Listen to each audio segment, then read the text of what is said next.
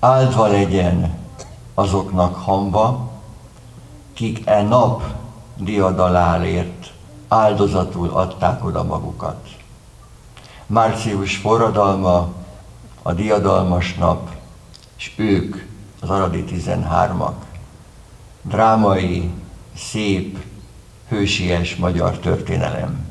Megemlékező beszédében ezeket a gondolatokat osztotta meg városunk polgármestere az Aradi Vértanúk ünnepségén. Magyar vagyok, büszkén tekintek át a múltnak tengerén, ahol szemem egekbe nyúló kősziklákat lát.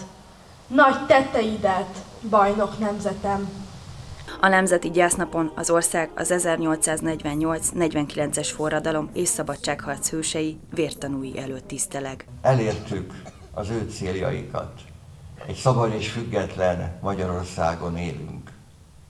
És velünk vannak ők is. Igen, és az emlékük, a példájuk, a vértanúságuk végig kísérte a magyar történelmet. És akkor, a 20. század végén, ott, az aradi emlékmű, az aradi emlékmű jelképezte a diktatúra, az elnyomás, minden diktatúra és minden elnyomás elleni helytállást, és jelképezte a magyarság összetartozását.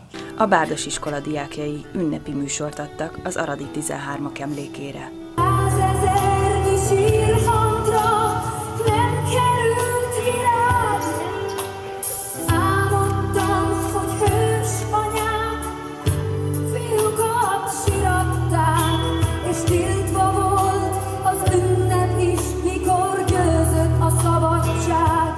A vádirat felségárulásról beszélt.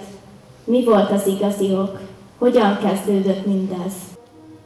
Knézics Károly